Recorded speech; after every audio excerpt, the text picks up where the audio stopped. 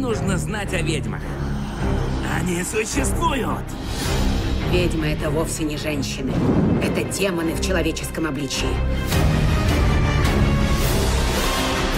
В каждом большом городе, в каждой мелкой деревушке они живут среди нас.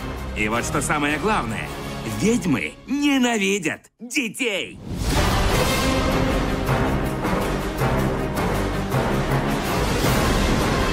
Дамы, у меня есть план. Одна капля превратит ребенка в мышь. И мы вытравим этих малышей.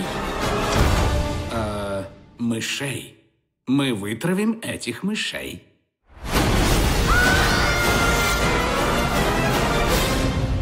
А почему мы хомяки? Мы Какая разница? Бабуля, я здесь! Это ты, родной? О, боже! Давайте! Нужно остановить их. Вам не сойдет с рук ваш подлый, коварный план. И кто же мне помешает? Поймал!